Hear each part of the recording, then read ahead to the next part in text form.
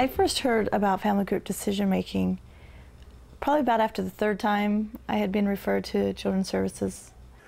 Um, I first heard about family group decision making because my nephew got involved in the criminal juvenile justice system here in Bucks County. My probation officer brought it up when we were discussing he thought it would be a good idea because I wasn't really getting along with my, my mom too well. For me, it was a new program, and uh, the persons tell me tell me only that it can be good for my family because it was a um, family decisions. He brought uh, family group decision making to our attention after we had several problems with the placement of my grandchildren.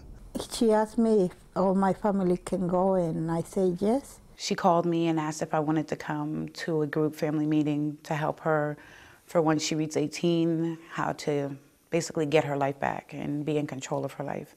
We had a social worker who thought that that would probably be the best, I don't want to say remedy, but help for our family in the situation that we were in.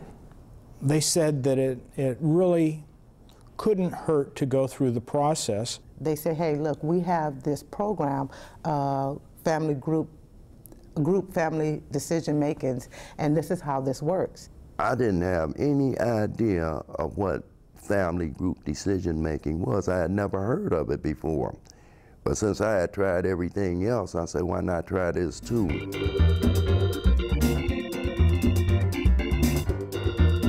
When I was first told about going to a conference, I felt apprehensive because I the point that our family was at, it seemed uh, that something like that really wouldn't make very much of a difference. I had never heard of anything like a family conference. It was either a social worker or me or a judge. Other family members were never involved. Everybody was a little bit scary because we didn't know the first time it was confused for me because I, I was not sure what what the programs um, it will be good for my family. I felt shy. Well, actually, I felt afraid, scared, because I thought that they were going to take Mayra away and break up our family circle. I didn't want to come. It's my little sister. I have to come to help her out. I pictured this as a group of people putting me in the corner, you know, telling me all the bads I did, um, who's going to take my kids and, and whatnot. Basically because of my past experiences with the Department of Children and Family Services and the way that they operate. In our community, they're not really very much well liked you know, social workers and the whole bit. When it was then explained to me after, of course, I was calmed down, I was like, oh, well, that seems neat. You mean you actually want to help me? And so I felt that this was a very interesting uh, aspect, a process that would allow the family to make decisions for themselves. And it was sort of like it was outside of the box. Well, some of my questions about it was uh, basically how the meeting would be conducted. How was this going to benefit my family? Will this actually work? Uh, what was the dynamics? Who were involved? Uh, how long would it take? Um, you know, what was the process? What would be the limits of what could be discussed during this process? Was it just a way for Department of Children's Services to be nosy into my home or I was also afraid was I opening up the door to maybe getting my kids removed from the home. And also, uh, who died in the Department of Children and Family Services and let them do something, it's, you know, so terrific.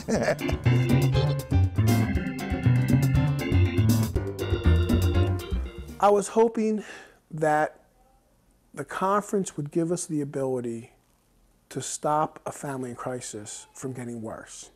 I was hoping to find some other dynamics to, to bring us back into some sort of a family unit where I could function better without causing so much conflict. My hopes were high that something new, this was something new that we hadn't heard about. Basically, my hopes were for my grandchildren, you know, to have a wonderful and loving home.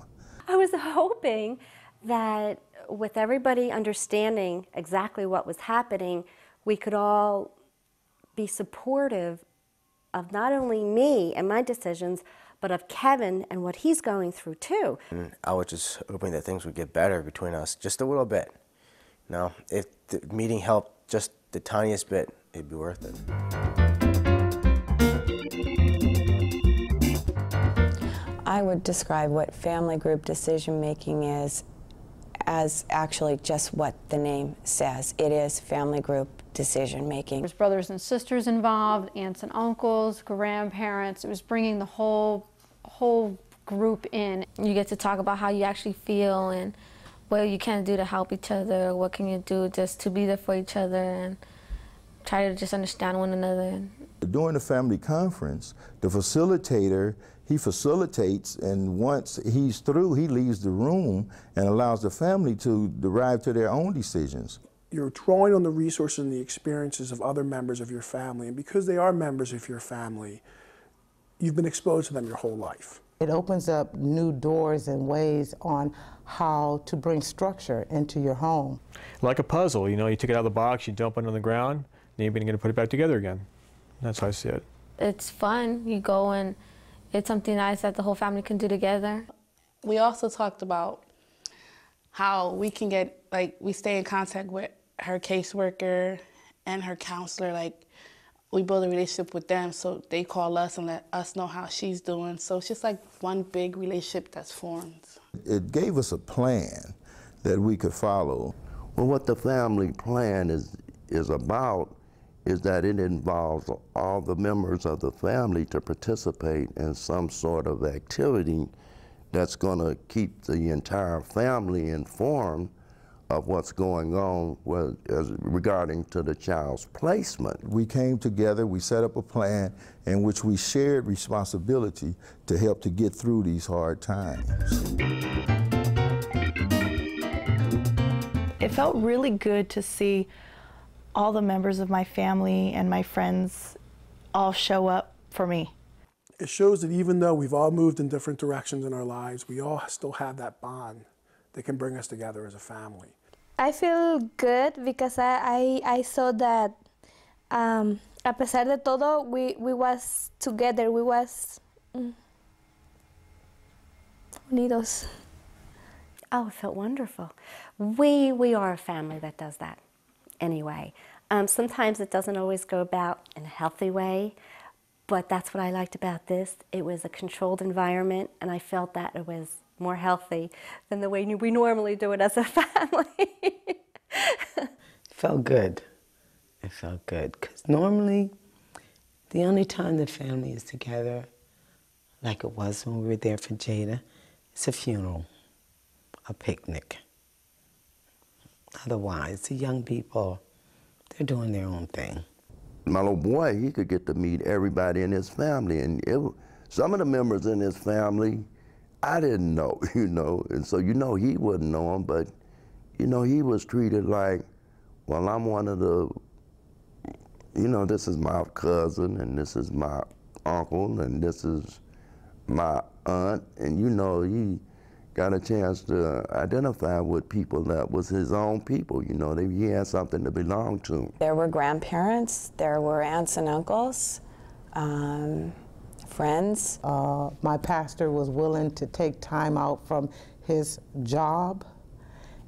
Uh, our family members were willing to take time out from their busy schedules. Friends were willing to help us and to see us as a family. And I think it made the kids realize how much everyone cared. Made me feel really good, made me feel special. Like I'm loved.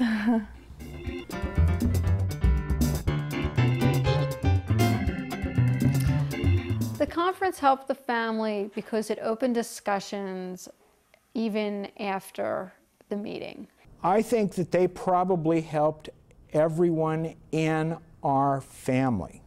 It's very helpful, and you know what I'm saying. It makes you realize a lot of things. It makes you like see how your family really feels about you. It seems like she has nowhere to go, so she made it known that she needed family involved in her in her life while she was in here. I never really knew that. Well, it helped me not get taken away from my mom. What helped me the most is having all my, not all, but my aunts and uncles and my mom and my grandfather there who they didn't take sides, but they got to hear my side of the story. Kevin saw that there was a lot of people who loved him.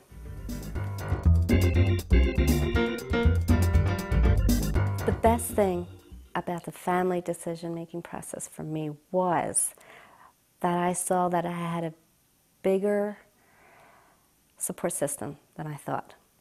It impacted my life by keeping my family together.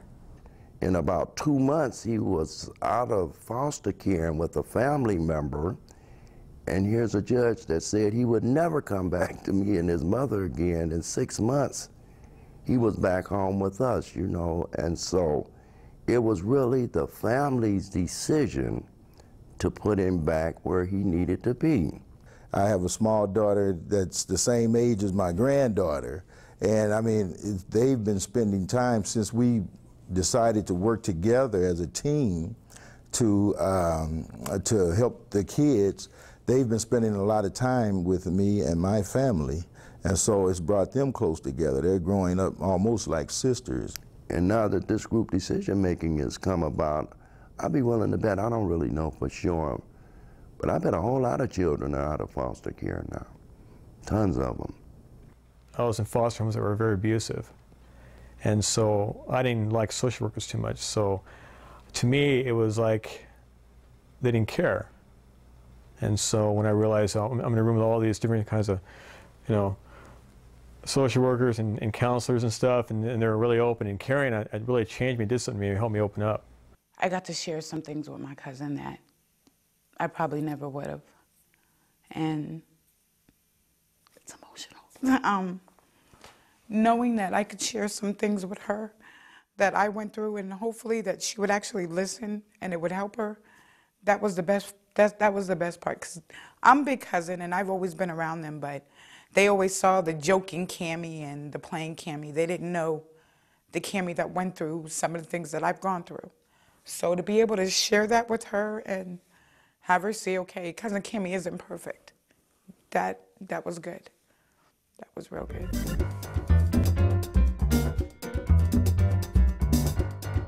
Um, if I were to meet a family that was about to go on a family group decision making conference, um, my advice to them would be go for it. Go in open minded. Bring lots of tissues. Um, I would give that advice because it is an emotional outpouring. Go with it full strength, give it all you can, totally be real. I don't know, like basically, it might be a long process, but you know what I'm saying, don't give up because in the long run, it's going to help you. To go because it's very helpful. Don't be self conscious. Don't be nervous. It's with your family. They've probably seen you in your diapers. You're not alone. Ask. Don't be afraid. If you don't ask, you never learn. And spread the joy. yeah.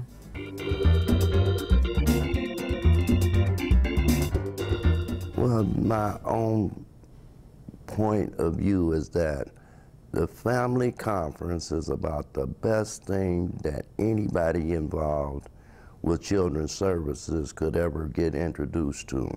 Because definitely family group decision making is something that I'll never forget. It'll always be with me, it'll always be something that I'll cherish. For the young people, it can help give them a future.